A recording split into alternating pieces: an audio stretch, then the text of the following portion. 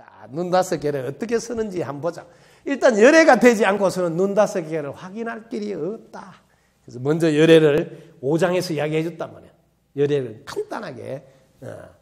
네가 가지고 있는 좋니 안노니 밉니 곰니 이쁘니 하는 그 상들이 네가 지인인 줄 알고 탁 내려놔 봐라. 내려놔 봐라. 비워 봐라. 이런 이야기는 재미없다. 왜? 너무 많이 들었거든. 어떻게 내려놓는데요? 이 방법을 알려준다. 방법. 방법이 부처님 당시부터 내려오는 방법. 그 나란다 대학에서 연구한 방법은 모르겠다 하고 내려놔라 했습니다. 모르겠다. 엄청 중요한 정보예요. 예? 그 인도 나란다 대학에서 내려놔라 비우라고 수없이 그러면 너도 본래 네가 부처인 줄 열애인 줄 아는 자리로 갈 수 있다 하는데 방법을 위해 방법 방법 그 방법 중에 에이 모르겠다고 내려놔 봐라 그때도 내려놨는 거는 똑같아 이거지 그래서 인도 나란다 대학에서부터 몇몇이 계속 전해 내려오는 스승들이 제자들한테 전해주는 이게 비밀 열쇠는 모르겠다 하고 내려놔라. 이렇게 한 거예요. 그걸 우리나라에 와서도 고려시대 때 예, 보조국사 진울께서 예, 보조국사 진울께서 예, 이게 수심결이라는 이 수심이 마음 닦는 비결이에요 비결 핵심 요결 엑기스 요점 정리 이 말이에요 보조국사 진울께서 수심결에서 요점 정리 비우라 내려놓으라는데 방법을 이야기한다. 네. 단지 부려면 단지 부려면 시적 견성이다. 시적 견성이다. 이 단지 모른다고 하면 단지 불해가 이걸 모르겠다.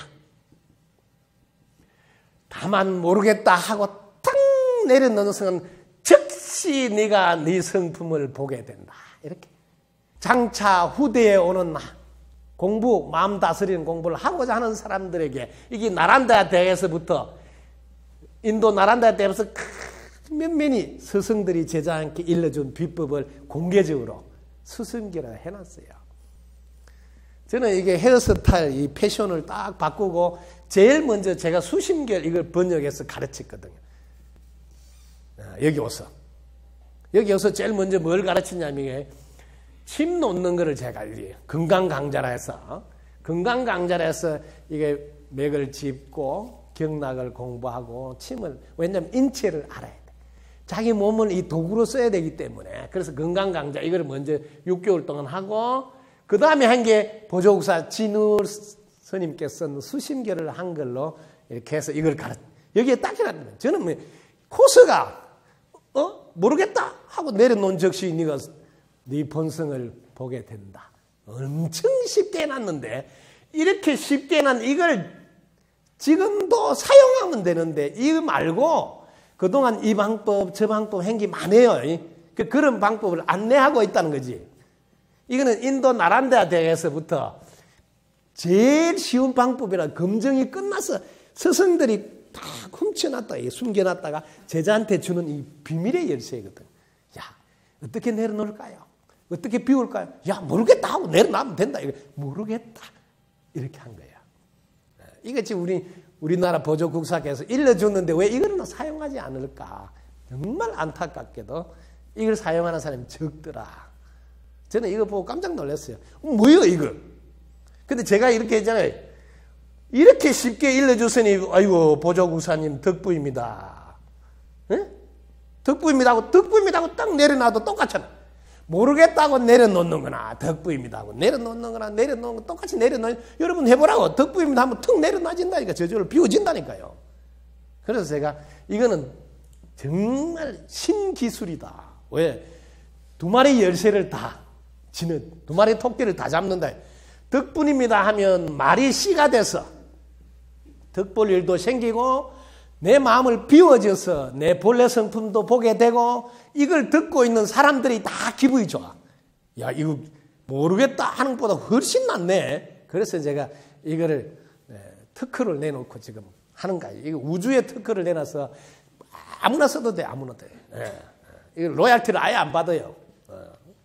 그래서 모르겠다 해서 내려놔도 되고 덕부입니다 하고 내려놔도 내려놔진다.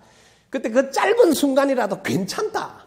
그때는 내가 비워져 있는 걸 확인할 수 있다. 그 비워져 있는 것을 우리는 한문으로 공이라고 공. 비워져 있으니까 이렇게 공이라고도 표현할 수 있고 그때 비워져 있으니까 나라는 게 없구나 이렇게 무하라 해도 괜찮아요. 뭐 비워졌으니까 비워졌으니까 뭘 이름 해도 괜찮아요. 자 여기서 자 비워졌을 때 어떻게 달라지는가를 해보자고. 왜 우리는 끝없이 비워라 내려놔라 하는 이유를 알아라고. 자 여러분들이 분별을 분별을 일으키면 무슨 일이 생기길래 제발 이 분별을 내려놔라 이런 소리를 하고 피우라 하는 가를 이유를 알게 되면 여러분들은 하지 말아도 하게 돼요. 여러분들이 분별하는 순간 분별하는 나가 딱 하나 등장하게 돼요. 여러분 보라고 지금 스님 이야기를 들으려고 딱 쳐다보는 순간 듣는 듣는 본인이 하나 있잖아요. 본인. 응? 지금 스님 말을 듣고 있는 본인이 하나 딱 나타나잖아요. 그 다음에 이게 이 상대방이 있잖아요. 이게 스님. 스님 지금 상대방이 딱 이렇게 뭐 본인이 있고 스님이란 상대방이 이렇게 뭐 금방 두 개로 딱 벌어져 버린다. 여러분들이 분별을 하는 순간 갑자기 나라는 놈이 생겨. 그리고 상대방도 생겨서 이게 둘이 돼본다. 두 개가 돼본다. 두 개가. 그런데 만약에 여러분들이 이 분별을 안 하고 딱 내려놓으면 분별을 안 해봐. 덕부입니다 하고 턱 내려놓으면 그 순간은 1초라도 괜찮아. 30초라도 괜찮다. 그 순간은 나도 없고 스님도 없는 상태를 확인하게 돼. 아, 그때는 나도 없고 상대도 없구나 하는 말이 이해가 딱 된다고요. 이런 상태에서 세상을 보는 것을 반야지혜라 그래요. 반야지혜.